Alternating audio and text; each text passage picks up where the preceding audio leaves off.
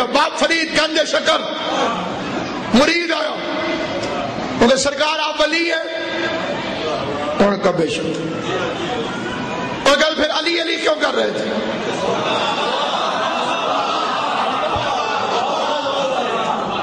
और है ये, आप अली है? उनका बेशक? तो फिर आप अली अली क्यों कर रहे थे? आप भी वली, अली भी वली। फ़र्क क्या? मौलवियों के समझाने के तरीके खतरनाक होते हैं। फकीर के समझाने के तरीके में मोहब्बत होती हम जितने हजरात यहाँ पर हैं, अल्हम्दुलिल्लाह हमने मौलवियों ने मुसलमान नहीं किया।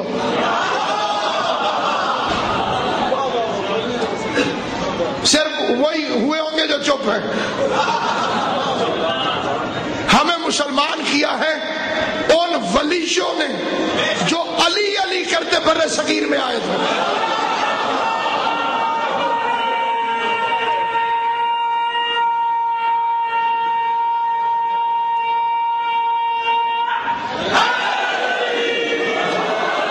फिर वारियत रोकना चाहते हो तो मौलवियों का सत्तेबाब करो।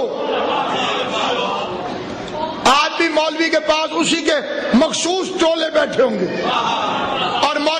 कहते हैं, बाकी सारे काफिर। अपनी मर्ज़ी के फकीर के दरवाजे पर चला जा हर मसलक माथा टेक के कहता है, अली हक।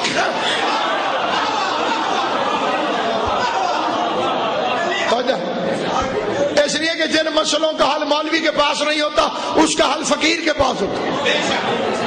बादशाह वक्त ने ऐलान किया था कि इस पहाड़ में पड़े हुए सारे उलमा से, फकीरों से मेरा सवाल है।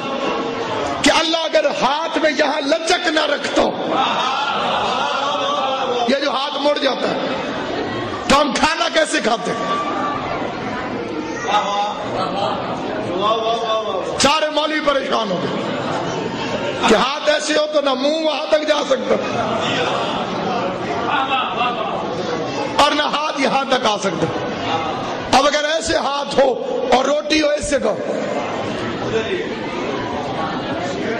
तरह खाएँगे। उसका जवाब दिया था बड़ी इमाम आदमी सैयदजादे ने। सैयद की आवाज़ बादशाह ज़रूरी नहीं कि रोटी खाई जाए।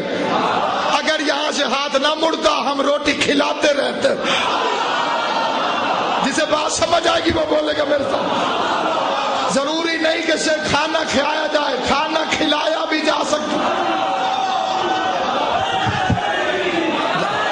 बादशाह हाजिर उसने माथा टेक के पूछा, आपने ये जवाब कैसे दिया? बड़ी इमाम ने फरमाया, मैंने ये जवाब अपने जद शहनशाह विलायत, हज़रत अमीर मोमिन के फरमान से दिया उसने कहा, तेरे दादे का क्या फरमान है? बड़ी इमाम ने फरमाया, मेरा दादा अली फरमाता है कि शरीफ खिला के खुश होता है, कमीना खा के वाला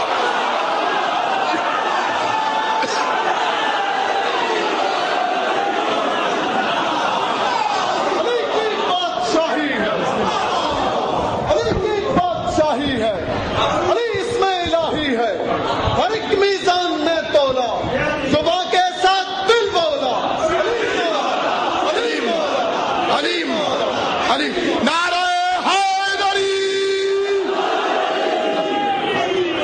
इसलिए सामयीन गिरामी कद जिन्होंने मोहब्बत तकसीम की अब्बास सलाम के आलम लगवाए अली की विलायत को फरोग दिया मौलवी तो वाकिफ हुए हम मौलवियों से। पंद्रह बीस साल पहले मौलवी आना शुरू हुए। पंद्रह बीस साल में उनका यह नतीजा है कि हर मोमिन मशकूक है कि मुझे अली और वलीउल्लाह पढ़ना चाहिए कि नहीं। है या नहीं आपको और अपनी मर्ज़ी के फकीर का कलाम उठा लें, उसमें आपको अली अली के अलावा कुछ नहीं मिले। तो जिनके दिल में वाकई अली की विलायत। है उन्हें अपने इमोशनों के मजारात का तहफ़ करना चाहिए।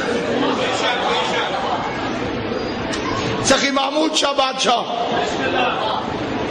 इस्लामाबाद में उस अजीम मदार के साथ, पहले उसके साथ ज्यादती की कोशिश की गई कि उसकी ज़मीन को तकसीम कर लिया जाए। उसके बाद सोचे समझे जाहिलाना मंसूबे के तहत मदारात के अहदेदारान को नाजायज मुकदमात में मुलविस करके दबाने की कोशिश की। तुम्हें ये किसी ने गलत समझाया है कि अली वाले मुकदमों से दब जाते हैं? अब्बास के अलम की कसम खा के कहता हूँ, हमारी तारीख गवाह है मीसा में तबमार गवाह है जनाब कंबर गवाह है कि सूली वाले मिंबर पे ही तो हम खोल के तकरीर करते हैं।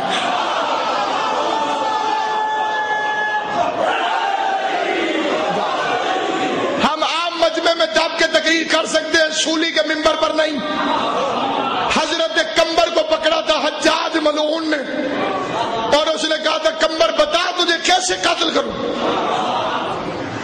आरे से चीरू, नेजों से मारूं, तीरों से मारूं, कैसे कत्ल करूँ? कंबर के चेहरे पे मुस्कुराहट आई। कंबर ने जो जवाब दिया है, हुसैन का वास्ता सारी ज़िंदगी याद रखना। कंबर ने फरमाया, मुझे वैसे कत्ल कर, जैसे इमाम जमाना की हुकूमत में तू मेरे हाथ से होना चाहे।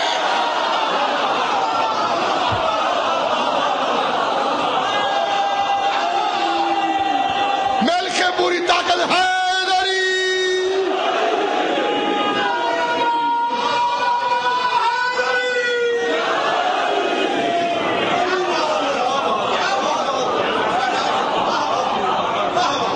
मीशा में दमार से इन्होंने कहा मैं अभी तेरे हाथ काटूँगा। मुस्कुरा के मीशा ने कहा, बिल्कुल सच है। उसके तेरी नाक काटूँगा। मीशा ने फरमाया, बिल्कुल सच है। तेरे पाँव काटूँगा। मीशम ने मुस्कुरा के कहा, बिल्कुल सच है। उसके उसके बाद तुझे कत्ल करूँगा। मीशा ने कहा बकवास कर रहा मेरे बादशाह अली ने बताया है कातिल करने से पहले मेरी जबान भी काटेगा तो वो बेगैरत कहते अगर अली ने कहा था तो जा फिर मैं तेरी जबान नहीं काटूँगा। हाथ भी काटूँगा, पाँव भी काटूँगा, नाक भी काटूँगा, आँखें भी निकालूँगा, उसके बाद कत्ल कर दूँगा। अगर अली ने कहा कि जबान काटूँगा तो मैं तेरी जबान नहीं काटूँगा। मुस्कुरा के मीसम ने फरमाया, बकवास न कर, तकदीर का मालिक, तू नहीं, अली जबरा भी मेरे बादशाह ने कहा पूरा ना हो, कैसे हो सकता लोग हाथ काटते रहे, वो कहता रहा, लोगों, देखो अली सच्चा मैं बाजारों में तुम्हें कहता था तो मुझे दीवाना समझते थे। आज देखो, जिस तरतीब से अली ने बताया था, उसी तरतीब से ये काम कर रहे हैं। पाँव काटे आओ देखो, अली सच है।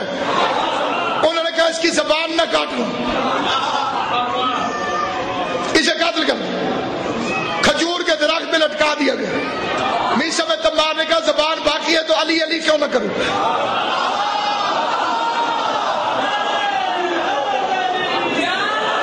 मजमा आम में हैदर करार के गुलाम ने अली के फदाइल पढ़ना शुरू कर दिए। नीचे जमा हो गया, मीसम की जबान से विलायत अली का चश्मा फूट पड़ा। जैसे हलाल जादे शराब होते रहे हराम जादे जलते रहे, मुस्कुरा के मीसम कहने लगा, मैं कहता न था अली सच्चा है। जो जो अली ने कहा था, वो वो हुआ कि नहीं हुआ? आओ फिर अब मैं तुम्हें बताऊँ, अली ने मुझे बताया, आदम की तोबा कबूल मैंने कराई थी। अली ने मुझे बताया, नूह की कश्ती पार मैंने लगाई थी। अली ने मुझे बताया, इब्राहिम के लिए आग गुलजार मैंने किया था। अली फरमाते जो में तजल्ली नज़र आई थी, वो मैं अली जब राबी तालब की तजल्ली थी, अली के फजाइल में मजमा जमा हुआ, मैदान भर गया।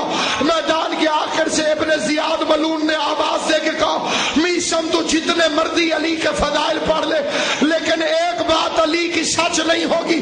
तूने दावा किया है कि अली ने तुझे कहा था कि मैं तुझे कत्ल करने से पहले तेरी जबान काटूँगा। ये पूरा मजमा सुन ले, मैं तेरी जबान नहीं काटूँगा। मुस्कुरा के कहते मजमा आम आओ मैं तुझे बताऊँ, अली ने बताया था, उसका बाप वो नहीं, वो था, उसका बाप वो नहीं, वो था, उसकी वल्दियत वो नहीं, वो था। जब सात बेगैरतों की असली वल्दियत मीसम ने मेंबर से बताई अपने जल्दी करो उसकी जबान मार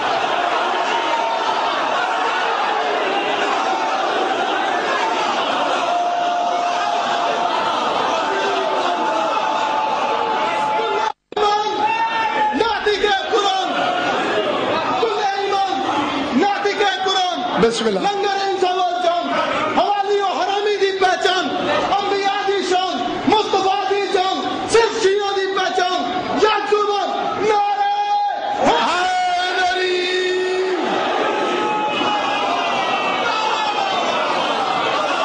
रस्सियाँ खोल दी गई जबान काट दी गई। असर तुराबी के बिला छह मिसरे पढ़तो वो फरमाते गिरद आपके हर वक्त लगा रहता था मजमो इसकी चौथी लाइन जिसे समझ आएगी उससे पहले मैं वाह वाह कहता हूँ। गिरद आपके मीस में तमार जबान कहती है गिरद आपके हर वक्त लगा रहता था मजमो। हटता न था, कौड़ों की सजा सहता था मजमो। हटता न था, कौड़ों की सजा सहता था मजमो। एक तेज से धारे की तरह बहता था मजमो और लफ्ज क्या लगा वो फरमाते ई कहते थे मीसम तो अली कहता था मजमो इस हाल में भी ज़ोर से ई कहते थे मीसम लिखा है मुआरख ने अली कहते थे मीसम ये जबानें कट भी जाए तो अली के हक के लिए बोलेंगे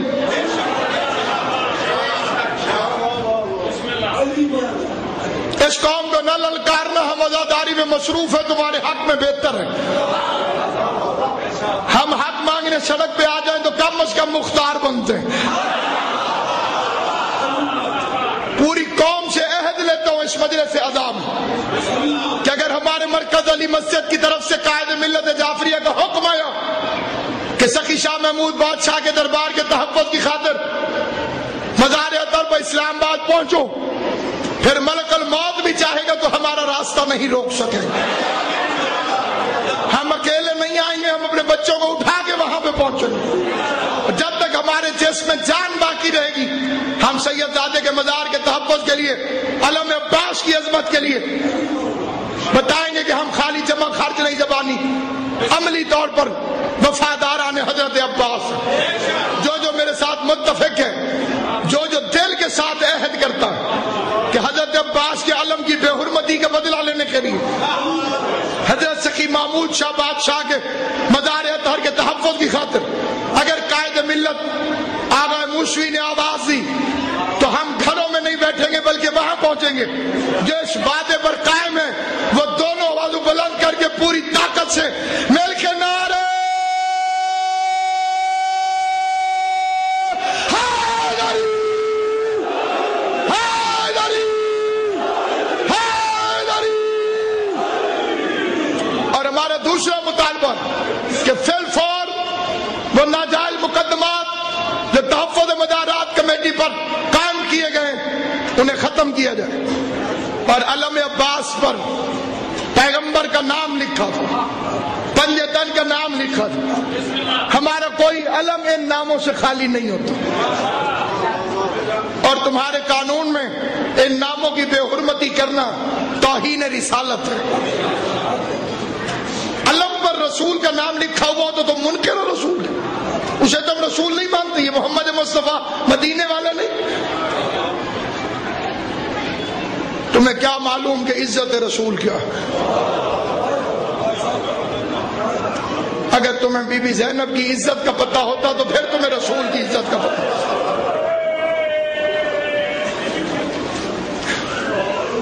अजादारान इमाम मजलूम, आप सबका तारीखें पढ़ के देख रहे आप सबका हालात पढ़ लें, तारीख इस्लाम पढ़ लें। बड़ी तवज्जो चाहते हो, ये फ़िक्र करने का जब भी किसी कौम पर जुल्म हुआ,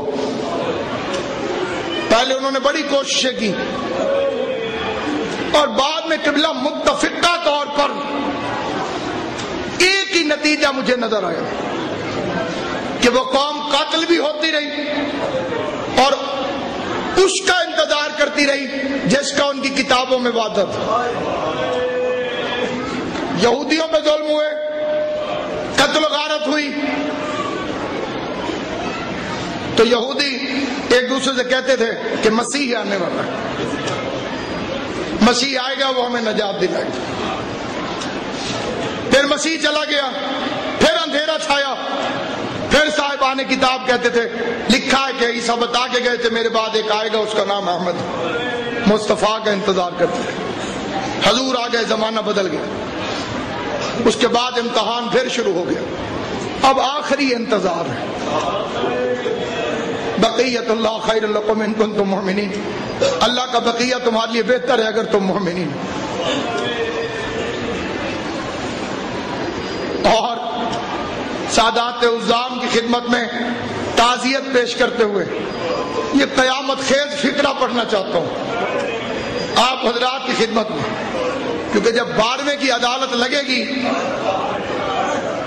इमाम जमान सलाम जब इकतदार पर तशरीफ़ फरमा होंगे, उस वक्त सिर्फ़ एक शर्त है कि अपने अकीदे में कोई कमी न रहने देना अगर बारहवें इमाम ने पूछ लिया कि तुम्हें मोहम्मद की बेटियों की इज़्ज़त और हुरमत की कदर और कीमत न थी और तुम अपने जैसियाँ समझते थे। तो बताओ, मूसा काजम की बेटियों की शादियाँ क्यों नहीं हुई? अभी आप सुन रहे थे, लेकिन मैं तमाम जाकरीन से भी जिनके कदमों की मैं खाक हूँ, हाथ जोड़ कर एक मिन्नत करूँगा कि इमाम मूसा काजम की शहादत मुकम्मल नहीं होती। जब तक कोई इमाम मूसा काजम की, वो वसीयत न पड़े कि जब सर से लेके पाँव तक लोहे में जकड़ दिया गया। तो उस वक्त मेरे मौला ने दरवाजे पर खड़े होकर वसीयत की। और ये वसीयत किताबों के अंदर मौजूद है। आवाज़ देकर सबसे ज़्यादा औलाद सातवें इमाम की। इमाम मूसा काजम, अठारह बेटे, उन्नीस बेटियाँ। ये शेख मुफीद अल रहमान लिखा। इससे ज़्यादा भी है, इससे कम भी है। लेकिन मैंने शेख मुफीद की रिवायत पढ़ी है। तो आवाज़ देकर कहो, अली रजा के मशवरे के बगैर मेरी कोई बेटी कहीं शादी न करे, क्योंकि हम औलाद रसूल हैं और उम्मत के साथ हमारी शादियाँ हराम हैं। हमारी बेटियाँ हमारे बेटों के लिए हैं आजादारा ने इमाम मुकसर मौलवियों की किताबें अगर पढ़ें तो वो रिवायत के नीचे बेगैरती करके लिखते हैं कि इमाम मूसा काजम क्योंकि कैद हो गए थे, इसलिए बेटियों की शादी न हो सकी। बेगैर तो सातवां इमाम कैद था, आठवां इमाम तो मौजूद था। आठवां इमाम शादी कर देता बाईस साल या अठारह साल उम्र है जनाब मासूम कौम की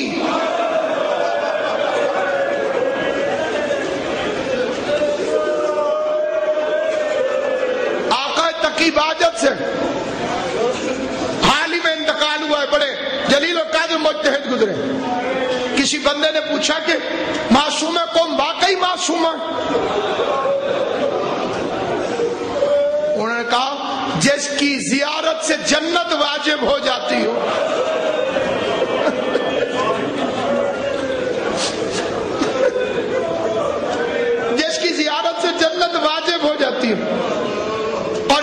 का नाम मासूमा नहीं, नाम फातिमा। इमाम मूसा काजम की दो बेटियों का नाम फातिमा। इस बीबी का नाम है फातिमा इबन मूसा काजम। और इसे इमाम ने मासूमा कहा। और दसवें इमाम ने कहा मंजार कब्र अम्मी फिल कुम वजबत लहुल जन्ना। जिसने मेरी फूफी की कब्र की जियारत की कौम में जाकर उस पर जन्नत वाजिब हो जाएगी अठारह साल बाईस साल दो रिवायतें जनाब मासूम कौम की हर साहिब गैरत से सवाल है कि इतनी उम्र हो गई तो इमामों ने शादी क्यों नहीं की? इसलिए कि कुफ नहीं था। वो घर से चल पड़ी भाई की मोहब्बत में। ये सैयदों के घर में दूसरी बहन है जिसने भाई की मोहब्बत में सफ़र किया। लेकिन ये खुशकिस्मत है, इसे कोई ताजियाने मारने वाला ना था। बच्ची है तो इसका शियों ने इस्तकबाल किया। और दूसरी, जैनब है, जब शाम पहुँची तो भाई के कातिलों ने इस्तकबाल की। मासूम कौम जब पहुँची है कौम में तो इसे पता चला कि मेरे भाई को शहर मिल गई है। रोना ना नजरे झुका लिया करो, हैरान होकर नज़र अदादारा ने इमाम मजलूम, कौम वालों ने बड़ी कोशिश की कि बीवी को पता न चले। लेकिन बाद सजाद शादी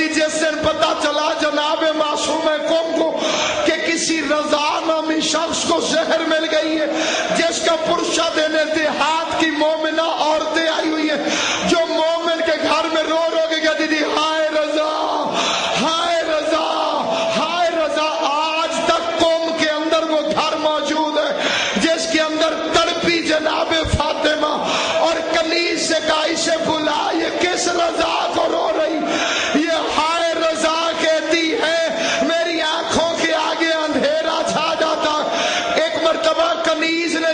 जब फिक्रे कहे तो वो देहाती औरत बीबी के कमरे में आ गई। क्या तुझे नहीं मालूम, हमारा आठवां इमाम था। आज सातवां दिन है, उसे सरजमीन तूश पर जहर मिल गई। वो बीबी ने एक मरतबा सुना, हाथ सर पे रख के कहा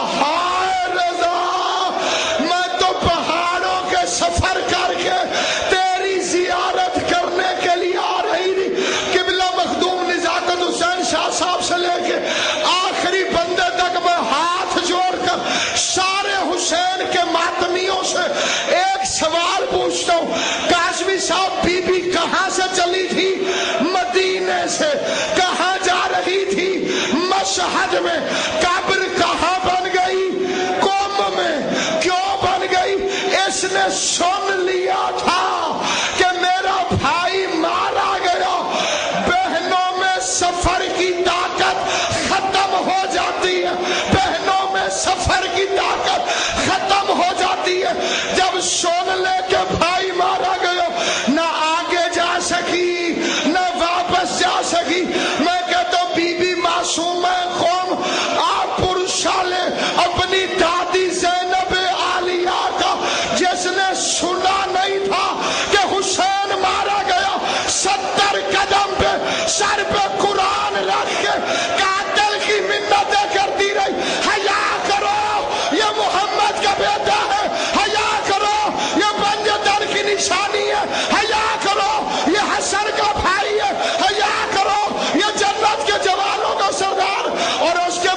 उसे रुकने किसी ने नहीं दिया।